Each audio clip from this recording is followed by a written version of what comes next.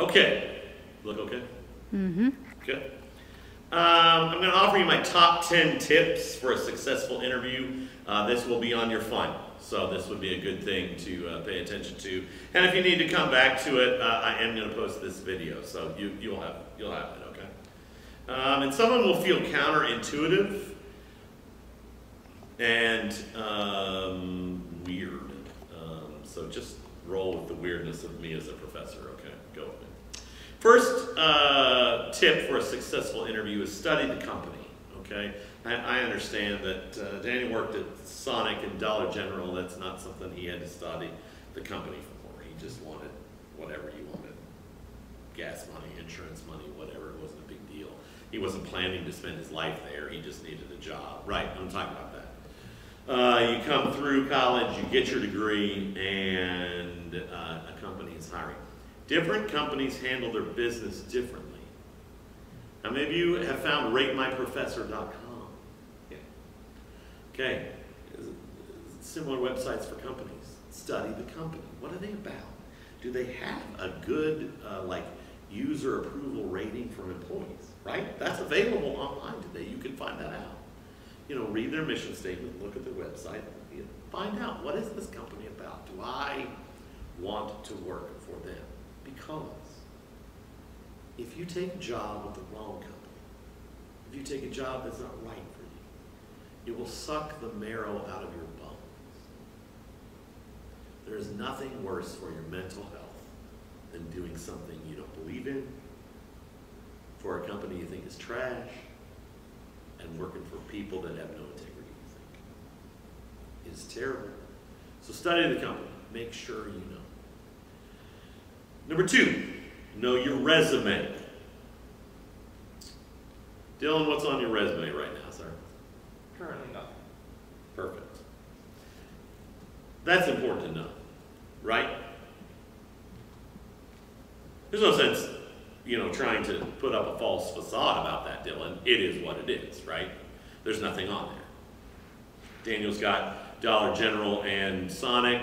Brianna, what you got on your resume? Anything? Um, Cash Saver, the grocery store, and the um, Cash Saver and Subway. Subway? I do have a question. Yes. Um, how valuable, like, I know we've been talking about, um, like previous experience. Yes. How valuable is like self-proclaimed experience? Like, like saying like, I am self-sufficient in the knowledge of hardware because I have done my own research, Sure. You know, like not Yeah. exactly worded like that, where they're like, eh, I don't know. I think there are a couple sections of a resume that are really important. One is a skills section, and I think it handles that. I think um, I think it's perfectly viable to go. Um, I just really love software, and I, I have you know really perfected something.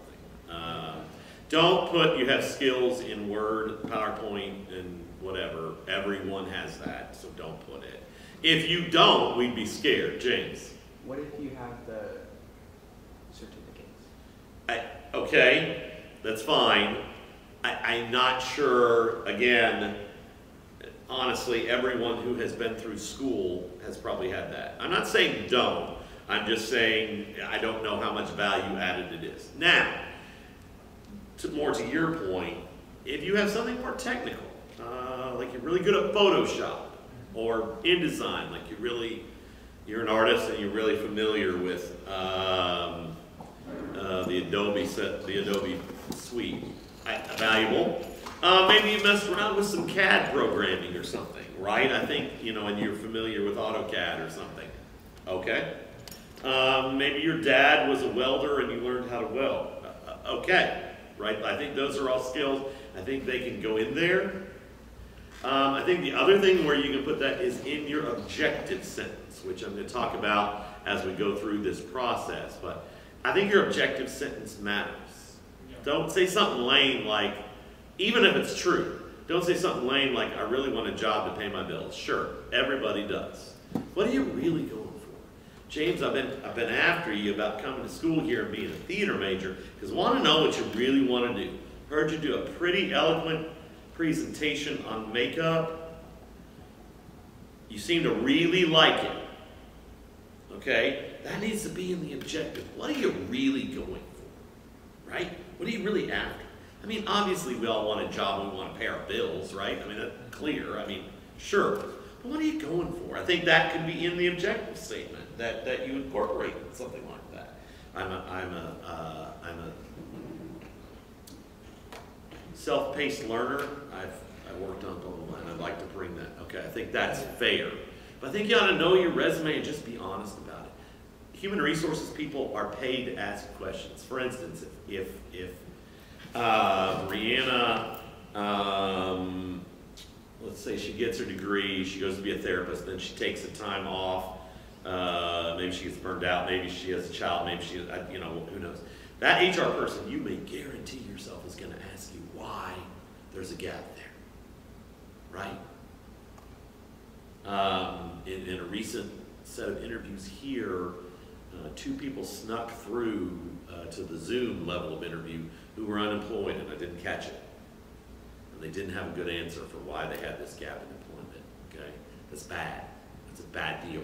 Know your resume, right? Be ready. If you took some time off for whatever reason, that's going to be there, and you need to know it if you took a major, if, if, if, if everything up to this point, Dylan, was, um, I don't know, uh, gaming driven, and suddenly you make a major right turn into, you want to be a teacher or something, right? You need to be ready to answer the question, why are you making this major turn, right?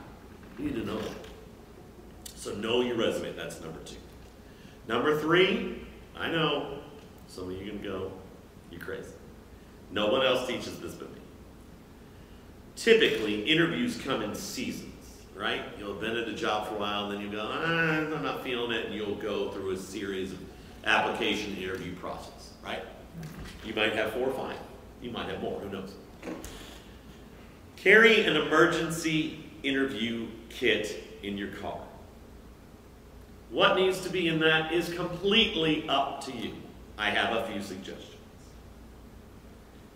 A Tide pen or the equivalent thereof.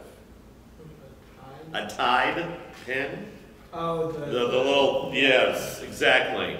So that if Daniel went to uh, Olive Garden for lunch and had spaghetti and meatballs, and he gets a huge dollop right here, but he's got an interview in an hour, he and the interview, the person doing the interview, are gonna, right, right here. That's gonna be in your head. Carry something that'll handle that.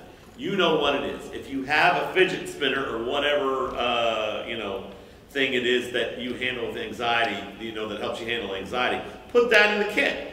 An extra one, because maybe you forgot yours. Some of you can't live without lip balm or whatever, lotion. Keep extra, right? You, whatever that thing is that you know it's going to stress you out. Brianna, you know. I don't even know what it is, but you got it. What is it that keep extra of it? And maybe an extra shirt or pants or, or blouse or dress or something in the car just during that season, right? Just when you might need it. So that when you get in there, um, you're not worried about the fact that your lips are super dry um, or that you got spaghetti and meatballs or whatever it may be. I know but here's, I, I'm telling you this for this reason. Because if you don't do what I say, and you get out on an interview, and you didn't follow this, I hope you hear my voice reverberate, reverberating in your brain that said, I told you, Daniel. I told you you ought to have an emergency interview kit, right? I know, kind of silly, but could be important. Number four, study the job description. HR people are famous for asking this question. James, uh, what did you notice on the job description that you fit uh, matches your skills? If you don't know that job description really well, your answer is trash, right?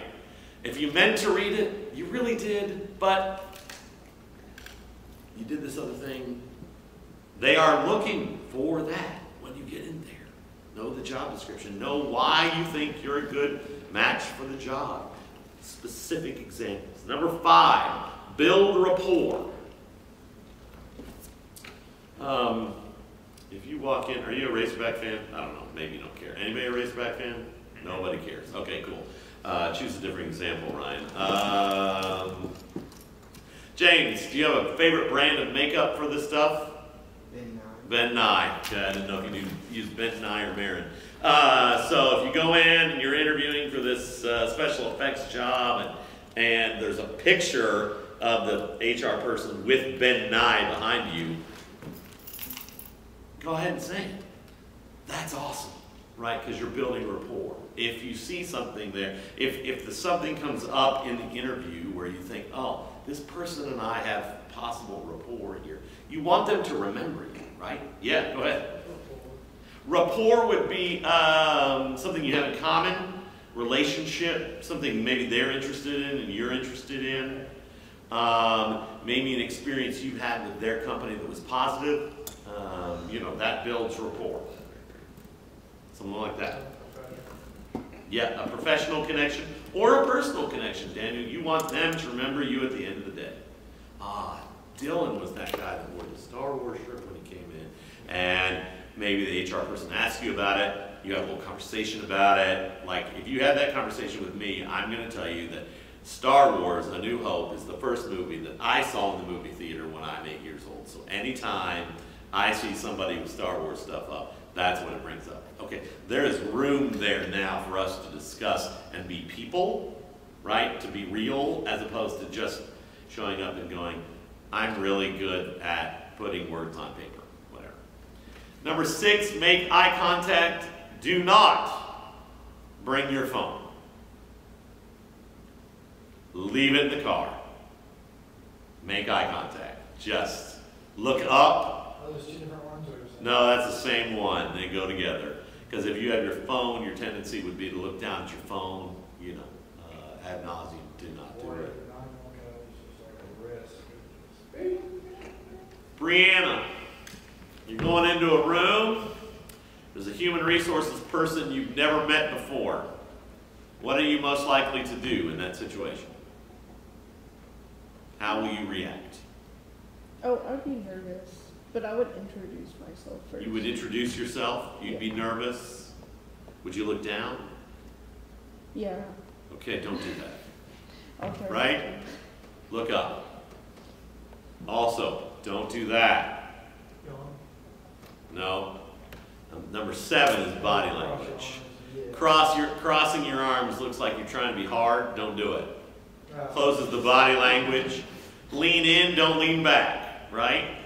This is not the time, you know, to kick back. It Makes you look like you're not that interested. Think about your body language. What are you saying to the person with body?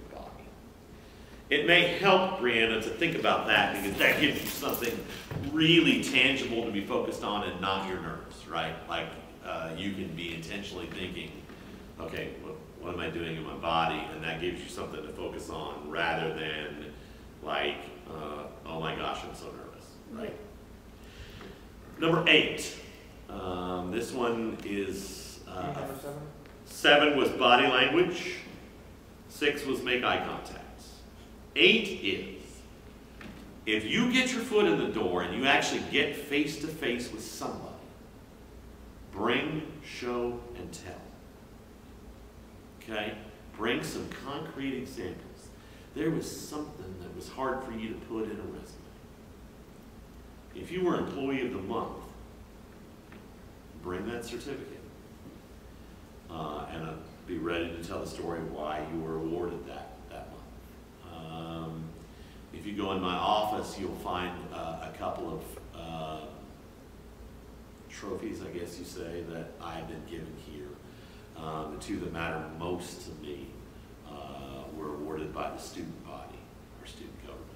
Um, and if I was going to an interview, I'd carry those with me, or one of them at least, because that matters to me it, it, it matters that the students chose me as someone uh, that inspired them, right? Like that matters. It's value added. That's a specific, concrete example that maybe you listed on paper. It's different to be sitting there holding it, right?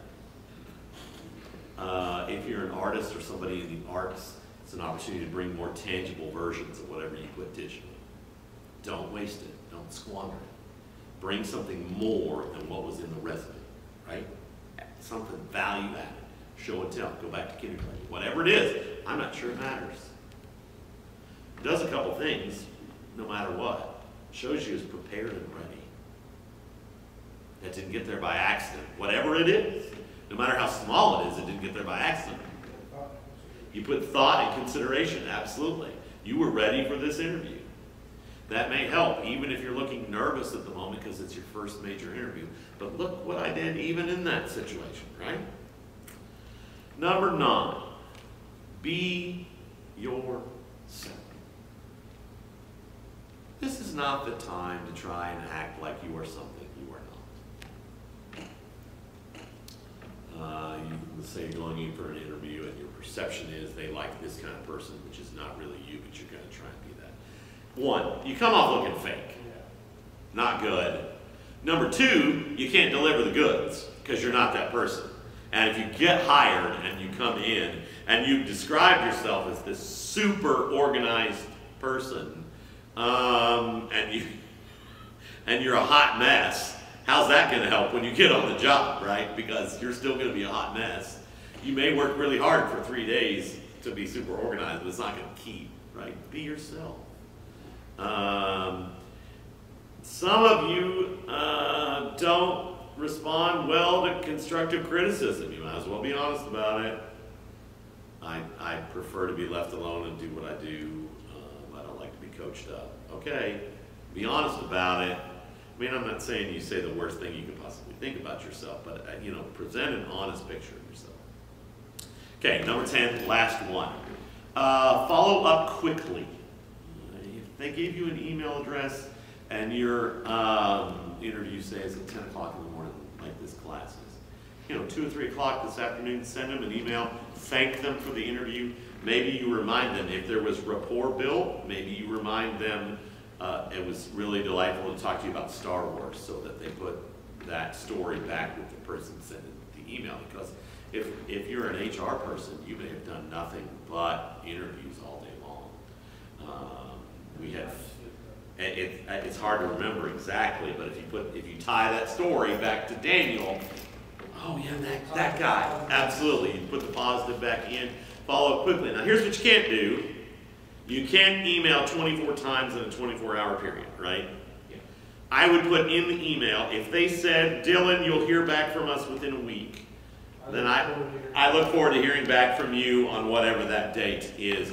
And then you might ask, would it be okay if I, if I follow up, you know, at that point? Or you may just say, uh, if I haven't heard from you, I'll follow up at that point, right? You want them to know you want it, and you want to not look needy, kind of all at the same time, okay?